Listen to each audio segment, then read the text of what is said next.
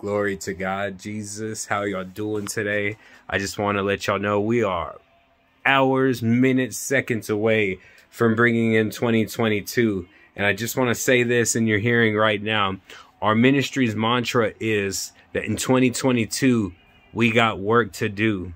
And a part of that work, in my opinion and in my belief, how I'm taking it, is that we're to work out our own salvation our walk got to be tight so that whatever we do for the kingdom of God, check it out. It's gonna it's gonna apply and it's gonna be received. So as we step out there in faith in 2022, I encourage each and every single one of y'all to be bold enough to walk in the fullness of a true and living king, you guys. Just give it all to him Romans 10 and 13 says, Whoever calls on the name of the Lord shall be saved. But if you go right up before 10 and 13, glory to God, his word says that if you believe with your mouth, I mean, if you, be, yeah, if you, be, if you confess with your mouth, excuse me, and you believe in your heart that you shall be saved, you guys, it's a hard action.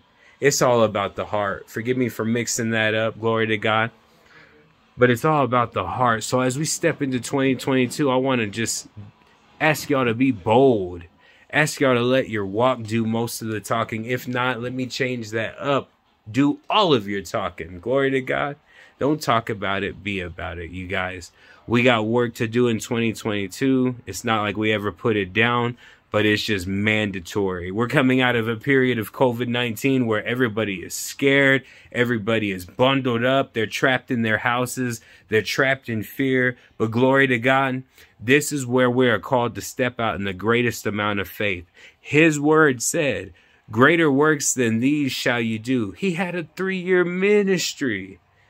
And he, he, he went up, he died on the cross, he went up, and he sent his spirit back down to us on the third day, you guys.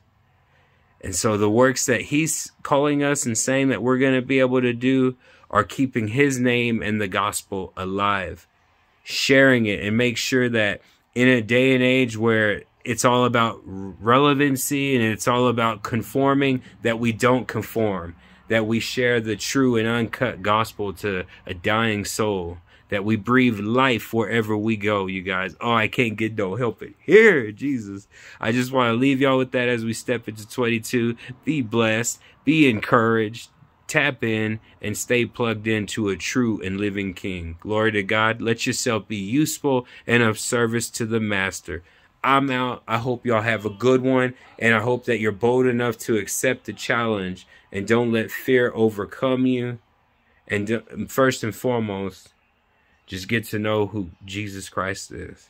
Adios. I'm out, you guys. Y'all be blessed.